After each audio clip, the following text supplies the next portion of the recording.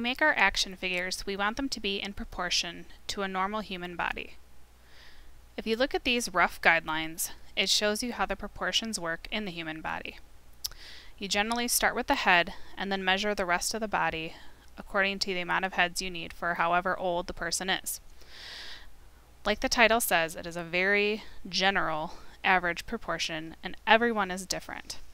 But it's a good place to start, especially when you are just drawing a random person or figure like we will be doing today.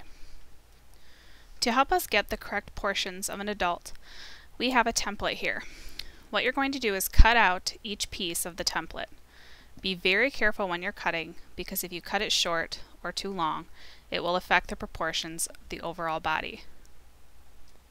Once you have all your pieces cut out, you're going to put them together kind of like a puzzle.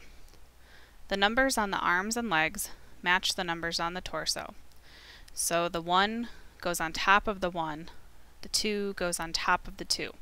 It's important you put each number right on top of the same number so that the proportions are correct. You want your person to be in an action pose, not just standing still doing nothing.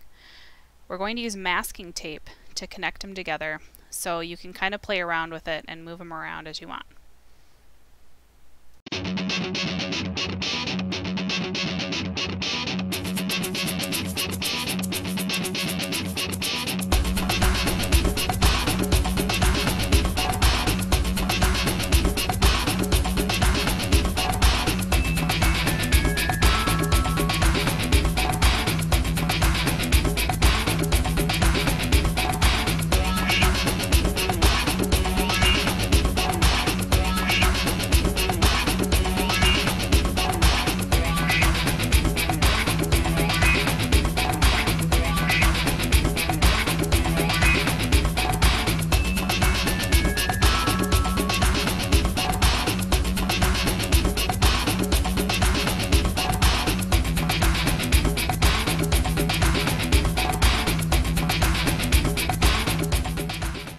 Now that your figure is all put together, we're going to trace them on a piece of construction paper. We're going to trace them three times since we're being inspired by Jacob Lawrence's artwork, and he used repetitions of three, as you could see in the examples at the beginning of this video. Ideally, you can fit all three figures on one piece of construction paper so that we're not wasteful. So start with your first figure all the way on one side, and then it usually helps if you turn the second one upside down because we're going to end up cutting these out so it doesn't matter that it's upside down. And then the third one, do right side up. Depending on how your figure is arranged, you might need another piece of paper, but save the big chunk of paper for someone who could use it. For the background of this project, you're going to take a 12 by 18 piece of drawing paper. Listen to some music to help inspire some creative lines. Use markers to draw your lines across the paper. I recommend to draw them across the short side of the paper so you can draw more lines. I also recommend you switch colors of your markers each time you draw a line.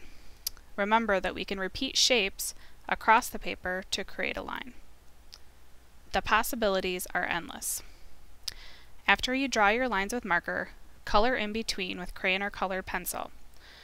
Press very hard with your crayon or colored pencil so that the colors are bright and vibrant, just like Jacob Lawrence's work.